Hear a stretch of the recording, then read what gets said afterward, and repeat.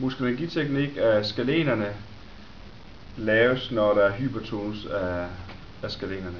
Og skalenermusklerne, der vil man normalt se, at man har et eleveret første koster med mere end en halv centimeter, eller at cervikalkomplekset ser ud som om der er en dysfunktion, en gruppedysfunktion, hvilket praktisk talt ikke kan lade sig gøre i cervikallægen.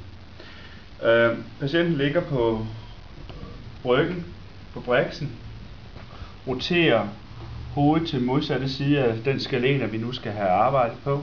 Skalenerne ligger i tre pars bagved øh, sternocleidomastoideus.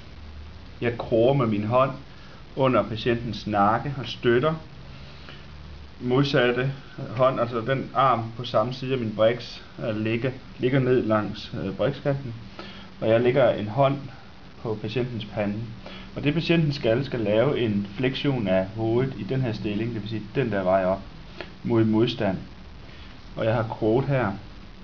Jeg løfter en lille smule op, så jeg optager løsheden i cervikalkomplekset her, og beder efter patienten om at løfte hovedet op mod loftet i mere end 7 sekunder. Efter 7 sekunder, mens der er spænding, tager patienten en dyb indånding.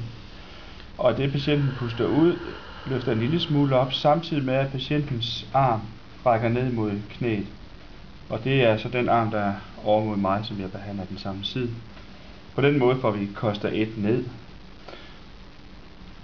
Og teknik igen. Løft hovedet.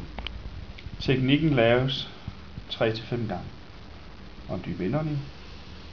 Og ræk med din højre hånd ned mod knæet.